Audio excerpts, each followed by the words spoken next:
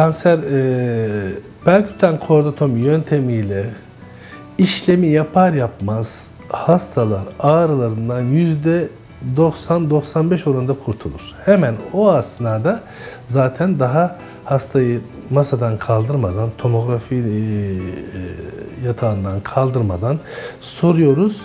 O esnada zaten bu işlem yapılırken narkoz ve neşterde kullanmıyoruz. Sadece bir iğneyle, radyo frekans iğnesiyle yapılan bir yöntem. Hasta o esnada dayanılmaz ağrılarının bir anda ortadan kaldığını, kaldırıldığını e, hissediyor. Yani masada hemen hastanın ağrısı %95 oranında ortadan kalkar ve bu ortadan kalkma işlemi yaklaşık ömür boyu sürebilir. Yani bir kanser hastasının ağrısını bu yöntemle kestiğimiz zaman ilelebet ağrı duymaz bir daha. O yüzden dikkatli olması lazım. Başka bir örnek vereyim. Ne olur bu hasede? Elini ateş almaması lazım. Çünkü ateşi hissetmez. Diğer bir örnek. Sivrisineğin konduğunu duyar eline ama ısırdığını duymaz.